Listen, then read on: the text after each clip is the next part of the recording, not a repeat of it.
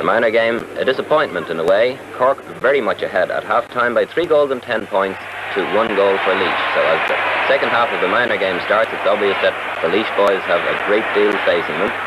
Donal Ahern, the Cork captain, sending them attacking again. And it seems as if it's going to be one-way traffic in the second half also. Pat Fingleton, the Laois full-back, kicking the ball out, and Laois trying to get an attack moving there with centre fielder Seamus Fleming, sending the ball up into the left wing.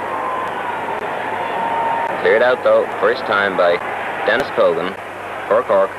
Away up along into the right corner to Dan Morley. Dan selling a nice dummy. But this one is fisted out by fullback Pat Fingleton. Waiting for it is the star of the Cork team, Donal Hunt, who scored a goal and five points. And the scoreboard still looks rather sad for Laois, but Ivor Houlihan, with the long free which goes all the way over the bar, brings it down a little bit more. Laois still attacking. Ball coming out here on the left wing. Tom Kane sending it across. Waiting for it there is Steve Allen, and it's a goal for Laois.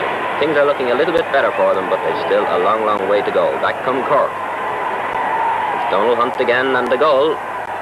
This seems to clinch the game for the Cork boys. And so indeed it did. The final score of 5-14 for Cork, 2-3 for Laois, and the captain of the Cork team, Donal Ahern, proudly receiving the cup.